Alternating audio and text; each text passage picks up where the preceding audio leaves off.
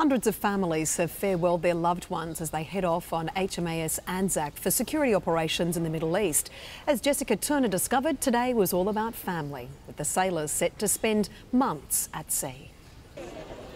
This part never gets any easier, even for the most experienced crew members. He's away for Christmas, he's away for birthdays, yeah, so everything, and just, just trying to explain to her where her dad is. Fathers and their little ones, husbands and wives, sharing last hugs as they prepare for the next six months apart. It's hard, so uh, yeah, yeah, you just have to get through it day by day.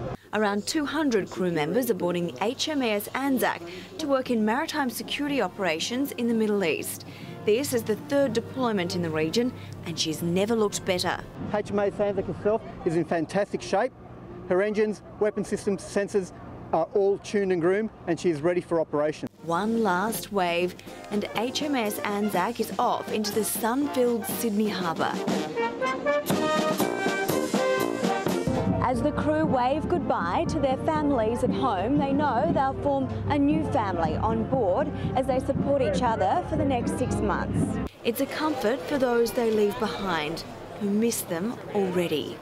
Jessica Turner, 10 News.